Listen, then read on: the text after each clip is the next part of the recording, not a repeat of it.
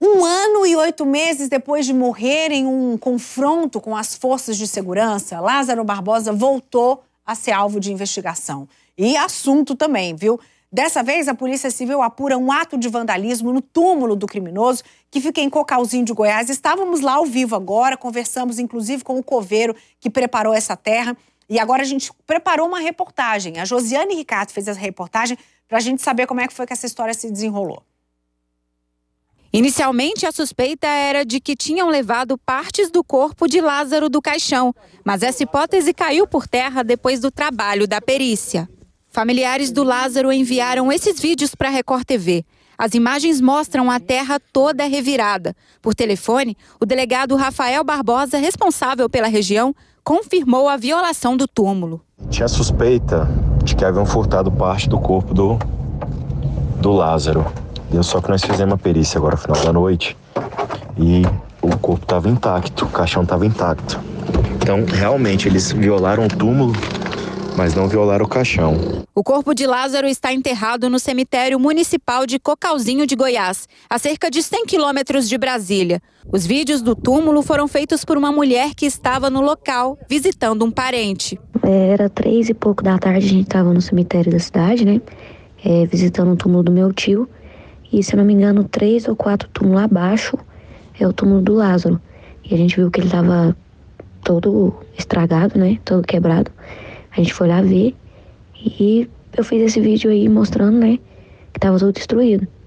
Aí na hora ele deu muito medo, né? Porque tava eu, minha mãe, mais duas amigas, só mulher no cemitério. A prefeitura de Cocalzinho determinou que a Secretaria de Obras fosse até o cemitério para verificar a situação. Toda a equipe de, da perícia chegou, acompanhamos de perto e nossos coveiros, acompanhando o trabalho, foram determinados que fizessem a limpeza do local.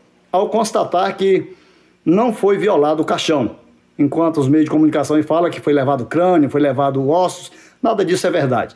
O caixão estava intacto e apenas teve a violação do terreno.